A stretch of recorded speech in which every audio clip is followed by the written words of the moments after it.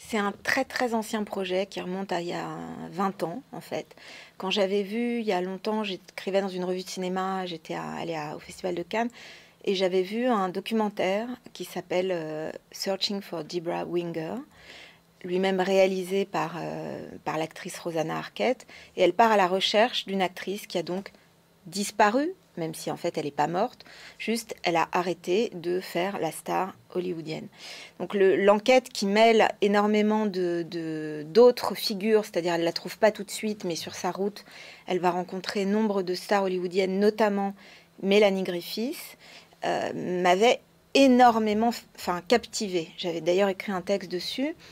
Et puis après, quelques années plus tard, j'ai découvert Tippi Hedren, que je connaissais évidemment, mais dans un feuilleton de mon enfance, euh, Super Jamie, où elle avait un rôle dans lequel je ne l'attendais pas, très loin de, de, l'icône hitchcockienne. Et surtout, elle était entourée de fauves, non domestiqués.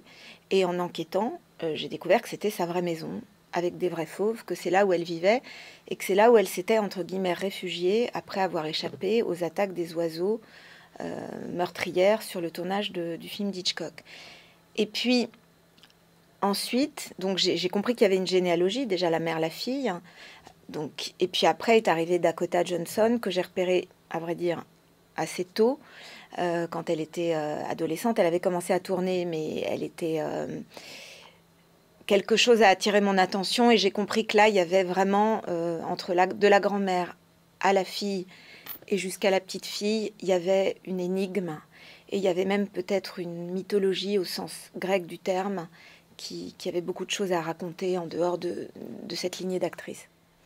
C'est la question du regard en fait, c'est-à-dire ce sont des actrices, donc leur travail, elles sont payées pour être regardées pourquoi pas se demande ma détective au début un peu naïvement, qui comprend pas très bien pourquoi Tippi Hedren, la, la, grand-mère de l'histoire, la première de la lignée, a eu tellement de problèmes avec le regard qu'il a créé, qu'il a fait naître au cinéma, qui est celui euh, d'Alfred Hitchcock. Et puis peu à peu, elle va découvrir que ce regard est un regard absolument omniprésent sur le tournage, évidemment, en dehors du tournage, euh, qu'il modèle chaque aspect de son existence, la manière dont elle s'habille, ce qu'elle mange, qui elle voit, à qui elle parle, et que tout ça fait partie d'un contrat, en fait, qu'elle a signé un contrat d'exclusivité avec cet homme qui, pour marquer sa possession, va entourer son prénom, enfin son prénom Tipeee, qui en réalité n'est pas son vrai prénom, qui est déjà le surnom que son père lui a donné. Tipeee, ça veut dire petite fille en suédois.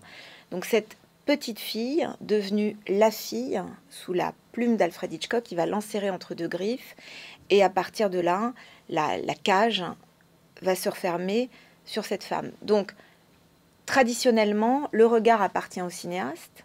Et c'est vrai qu'il y a une, il y a une historicité masculine du regard. Pour la première fois, euh, dans toute l'histoire de la très grande revue anglaise Sight and Sound, le plus grand film de l'histoire du cinéma vient d'être nommé, c'est Jeanne Dillman de Chantal Ackerman. C'était jamais arrivé que ce soit un film de femme. Chantal Ackerman, elle fait partie de celles qui ont subverti cette question du regard. Mais c'est minoritaire, c'est sur la marge.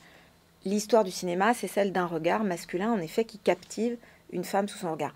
Quand c'est l'histoire de mes trois actrices, ça devient une histoire de possession euh, tellement extrême qu'on peut parler de sacrifice humain. Il y a beaucoup de manières de disparaître. Il y a beaucoup de manières. Les, actrices, elles font profession d'apparition-disparition.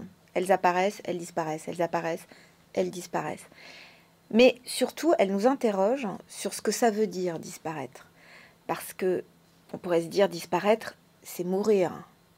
En réalité, comme on le sait, et comme nous l'apprennent les fantômes, c'est pas parce que quelqu'un meurt qu'il disparaît.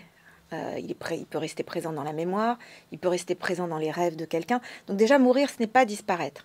Donc comment ces femmes disparaissent-elles? Comment elles sont peut-être disparues dans cette histoire? Euh, Et comment le fait qu'elles soient des stars, c'est-à-dire qu'elles soient mondialement connues, qu'elles aient un public énorme, qu'elles aient été vues, regardées, qu'elles aient captivé le regard de, milliards de personnes en réalité, si on cumule les trois générations. Comment c'est possible dans ces conditions-là de disparaître? Et est-ce que disparaître n'est pas pour elles et de manière agrandie, parce que leur histoire, elle raconte de manière agrandie la condition féminine, est-ce que c'est pas un sort qui est pas si tragique que ça, mais peut-être une condition de survie? Est-ce qu'il n'en va pas de la survie d'une femme, parfois, de disparaître Et qu'est-ce que ça veut dire, disparaître en étant à ce point-là sous les projecteurs? C'est vraiment l'énigme euh, et le, mystère que ce livre euh, raconte.